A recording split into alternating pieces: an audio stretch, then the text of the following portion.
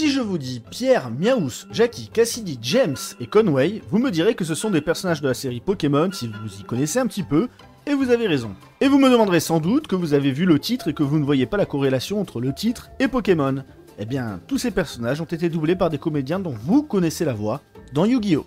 Bonjour à toutes et à tous et bienvenue dans cette vidéo dans laquelle on va parler des comédiens de doublage. Parce que oui, je dis comédiens de doublage parce que ce sont avant tout des comédiens avant d'être des doubleurs parce que j'aime pas, je trouve que ça fait vulgaire de dire doubleur. Je veux dire, pour moi, il y a quand même un gouffre entre le star talent, c'est-à-dire des personnes qui sont déjà des stars et qu'on demande de faire des voix juste pour pouvoir glorifier un film, et des personnes qui sont comédiens de base, qui savent jouer du coup la comédie et donner de la voix, de l'intonation ainsi que des sentiments à travers leur voix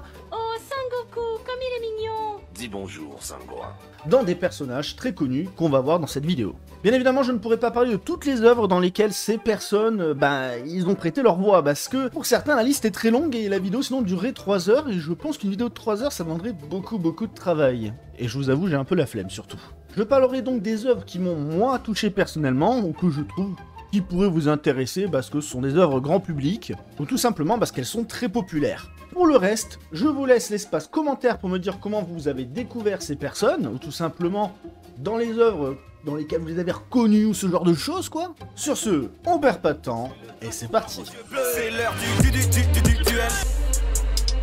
On commence cette vidéo avec une personne que j'ai eu la chance de rencontrer en vrai lors d'une convention, Monsieur Laurent Sao. Il a raison. Que faire? Comment utiliser ces cartes? On dirait les pièces d'un puzzle. De son vrai nom, Laurent Chauvet, connu pour être la voix de Yugi Muto, savez-vous qui d'autre il double dans l'animé? Yami Yugi, en personne. Il arrive à doubler les deux personnages à la fois et on y a vu du feu pendant toutes ces années. Dis-lui, mon ami, il n'est pas question de le laisser s'approprier ton pouvoir.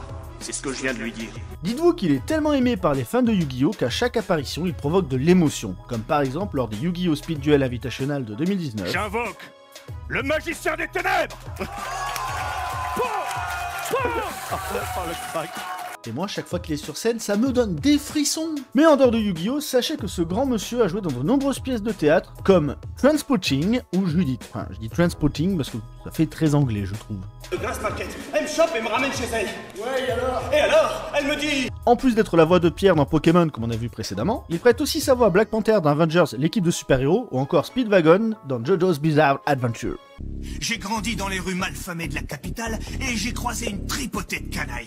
Passons à Nessim Geta, la voix emblématique de Seto Kaiba. Hmm, pas mal du tout, Yugi, pour un débutant.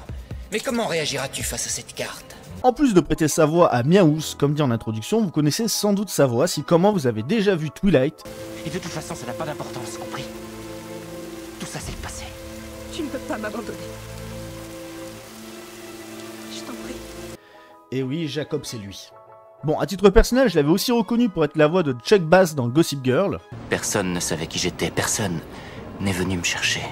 Impossible de vous énumérer son CV au complet tellement il a doublé de nombreuses séries, de nombreux films, ainsi que pas mal de jeux vidéo. Vous avez bien mal choisi votre moment pour rentrer au pays. A savoir que Kaiba n'est pas le seul personnage que double Nassim dans Yu-Gi-Oh! Mais au cas où je vais placer ce monstre en mode défense, au fait, tu te souviens de l'école On va maintenant parler de Bruno Mulenaert, qui prête sa voix à mon personnage favori dans Yu-Gi-Oh! Joey Wheeler. Joli coup, mais c'est mon tour, et je révèle les dés squelettes il a aussi doublé énormément de personnages avec lesquels j'ai grandi, notamment Shinichi Kudo dans Détective Conan. Si c'est commis l'assassin, c'est l'affaire la plus simple à résoudre que j'ai jamais vue.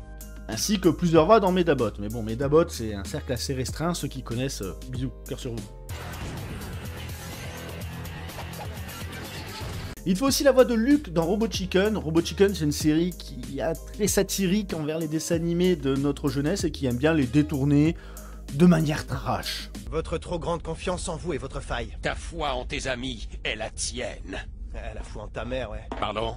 Ta mère, elle est tellement grosse que même Jabba le Hutt à côté, il fait anorexique Eh bien, ta mère, elle est tellement moche que quand elle va à la banque, ils éteignent les caméras Eh les mecs, battle de ta mère Il a aussi prêté sa voix dans pas mal de films et séries Netflix sortis ces dernières années, mais fait amusant, il double un autre personnage dans la saga Yu-Gi-Oh! mais cette fois-ci du côté de GX en prêtant sa voix à Isidore. Et celle-là, elle te plaît? Laisse tomber, tu veux il est aussi directeur artistique de certaines œuvres, tout comme l'a été Nessim. Hein. on n'en a pas parlé, mais voilà, il était lui aussi euh, directeur de casting. Kaiba, directeur, logique. Mais Marie von Hermangem, Hermangem, je suis désolé, je suis nul en allemand. Désolé. Marie, beaucoup. Ah oui, je me souviens. qui est la voix de Théa dans Yu-Gi-Oh, mais pas seulement, car elle est aussi la voix de Makuba. Nombre de pilleurs de l'ombre qui a débarqué en ville, je parie que ces cartes sont sous notre nez même si on ne les voit pas encore. D'ailleurs, son jeu de voix avec Makuba m'a toujours fait penser à un personnage que j'ai beaucoup aimé, et c'est normal puisque c'est elle qui prêtait sa voix. Shin-Chan, du dessin animé, j'ai Shin-Chan. Reculez, il y en aura pour tout le monde, vous la verrez tous. Ouah, je ne rêve pas, c'est bien elle, c'est la créature Ouais, voici en chair et en os, et d'ailleurs surtout en chair, la femme morse. Ah, et savez-vous qu'elle fait aussi une voix dans un célèbre équipage de pirates dont l'un veut devenir le roi des pirates? Oui, oui, elle fait une voix dans One Piece, elle fait la voix de Tony Tony Chopper. Vie est, euh, la vie est en train de mourir? Froid. D'ailleurs, ce n'est pas la seule être dans One Piece. Vous savez qui c'est qui fait la voix de Ace? Il pas reçu la meilleure des formations pour devenir capitaine et je suppose que parfois il doit être un peu lourdingue. Monsieur David Manet. Je t'en prie, Duke, ne laisse pas tomber Serenity. Il faut la protéger. Mais si je vous dis Yu-Gi-Oh!, Yu-Gi-Oh! 5D, ainsi que Yu-Gi-Oh! Zexal, bah c'est dans ces trois séries que David Manet, autrement appelé Tristan pour Yu-Gi-Oh!, le MC, euh, le commentateur dans 5D, ou alors Astral dans Zexal, eh bien c'est lui qui fait ces voix-là. Fort. hein. Trois séries Yu-Gi-Oh! D'ailleurs, vous saviez qu'il faisait aussi la voix de Nagato dans Naruto Non mais tu te moques de moi comme si les paroles délirantes de Jiraya pouvaient encore avoir un sens Combien de fois faut-il te le dire La véritable paix n'existe pas Tant que nous vivrons dans ce misérable monde, la paix sera impossible Ah, il est aussi un personnage que j'aime bien détester, mais en même temps, il est écrit pour Jerry dans Rick et Morty. Ouais, un double 6 pour moi Bon, il a travaillé dans de nombreuses œuvres, hein, telles que Les Chevaliers du Zodiac, Beyblade Burst ou encore Avengers. Mais on va terminer avec un autre grand monsieur qui lui aussi a prêté sa voix à plusieurs personnages dans la série Yu-Gi-Oh! Et derrière ces voix se cache. Et des heures et des heures à m'amuser de leurs cabrioles et de leurs interminables parties de cache-cache. Et pas des moindres, hein, puisque ces deux personnages assez appréciés, enfin un sûr, Pegasus déjà, bon ça vous savez, hein, tout le monde aime Pegasus parce que le monde est toon, voilà. Mais aussi le grand-père de Yugi, Une carte rarissime Mon trésor de cartes qu'il reprend d'ailleurs là aussi dans GX dans ses personnages. hein. Mais il a aussi prêté sa voix, lui aussi, dans l'équipage de Luffy au chapeau de paille. Et oui, celui qui a mangé le Yomi Yomi Nomi, le célèbre Brook. Yo, yo, je m'en vais de bon matin livrer le bon rhum de Bings. On peut aussi citer par exemple Senseiya pour lui dans le rôle de Sheion, dans l'Arcades si je dis pas de bêtises, mais aussi Alien Bazar ou encore Code Lyoko. Rien que ça.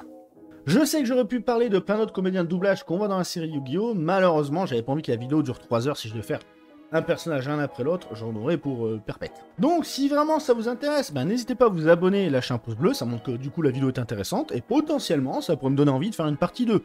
Moi je dis ça, euh, c'est pas uniquement pour l'algorithme, hein, c'est aussi euh, pour que vous ayez une partie 2. hein. En attendant, portez-vous bien, prenez soin de vous, et à très vite pour une prochaine vidéo. La bise à tous